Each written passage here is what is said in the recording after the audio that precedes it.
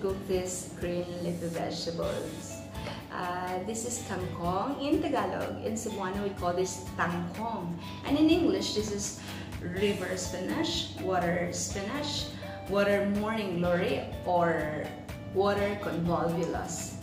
Uh, this contains a lot of vitamins and minerals like vitamin A, vitamin B6, vitamin C, vitamin D, calcium, iron, uh, potassium, cobalamin, and magnesium.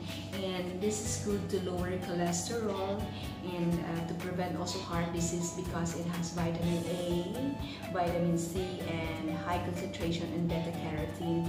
And these nutrients act as antioxidant uh, to reduce the free radicals in our body. And this is also good in treating ulcers, jaundice, and liver problems. And for those who are suffering with uh, constipation and indigestion, this is good because it has fiber. So this is also good for the skin and the hair and the scalp. And this is uh, good for um, to prevent cancer because of the antioxidant compounds of this uh, vegetable. So this also uh, lower the, I mean, reduce the wrinkles on your face. And then this is good also for those who are suffering with anemia. And this is good also for the eyes because it has vitamin A and high content of carot carotenoid and lutein. So this is good for eye health and also good for uh, for those who are having skin problem this is also anti-diabetic. This is good for those who are suffering diabetes. It will also boost your immune system. And this is very economical. For me, I just took this in our garden and I only spent 5 pesos for the spices.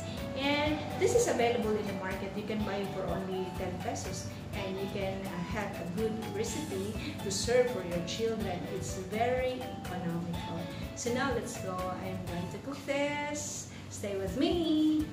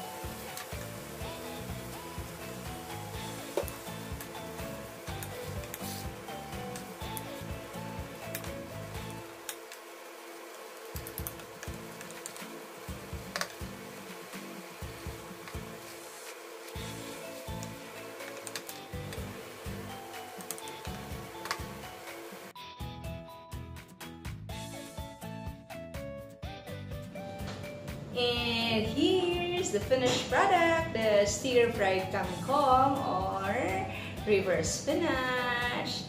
Ayan! Kain na tayo!